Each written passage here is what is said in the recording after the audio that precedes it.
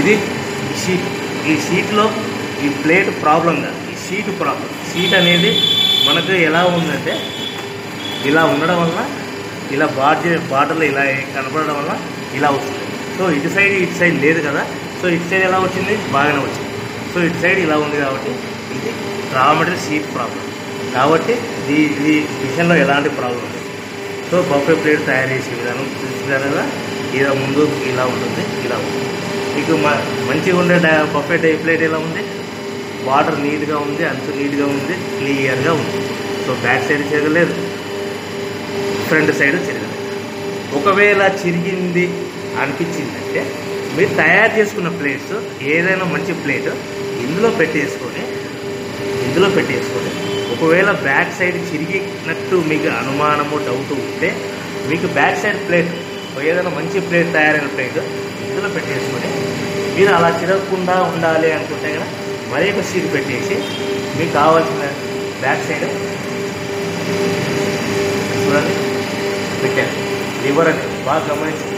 ముఖ్యంగా గమనించండి లివర్ అనేది స్మూత్గా చాలా ఈజీగా చాలా ఆడవాళ్ళు చిన్నపిల్లలు పెద్దవాళ్ళు ముసలి వాళ్ళు అందరూ ఈజీగా తయారు లివర్ అనేది స్మూత్గా ఇలా కిందికి ఇలా అని వదిలే వదిలేసిన తర్వాత ఒకటి రెండు మూడు నాలుగు ఐదు ఆరు ఏడు ఎనిమిది తొమ్మిది పది.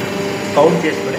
మళ్ళీ ఇలా చాలు ఏం టెన్షన్ పడాల్సిన ఎలాంటి ఇబ్బంది లేదు. చాలా ఈజీగా చాలా స్మూత్గా చాలా సింపుల్ తయారు చేసుకోవచ్చు సో మనం తయారు చేసుకున్న ప్లేట్ ఎలా వచ్చింది చూడండి. బాగా వచ్చింది కదా? ఎక్కడ ఎలాంటి డ్యామేజ్ లేదు. సో ఇక్కడ చిరగలేదు.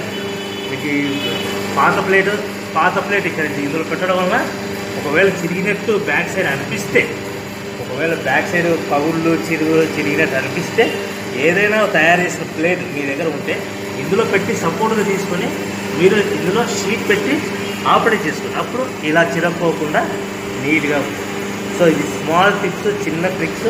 సో ఇలాంటి ట్రిక్స్ ఎలా చాలా చాలా చాలా చాలా ఉంటాయి సో ఇప్పుడు మన బఫే ప్లేట్ ఎలా తయారు చేసుకునే విధానం చూసాం కదా?